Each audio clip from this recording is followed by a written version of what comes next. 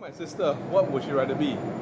Uh, toad for the rest of her life, or a pile of shit uh, at, at the night, and something very pretty in the morning, like a princess.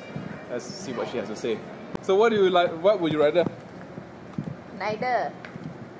So you have it, guys. Uh, she would neither want to be a pile of shit or a frog.